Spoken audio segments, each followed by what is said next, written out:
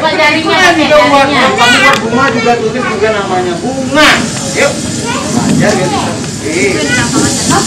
Ah, habis dari Sekarang nah, ular. Ular.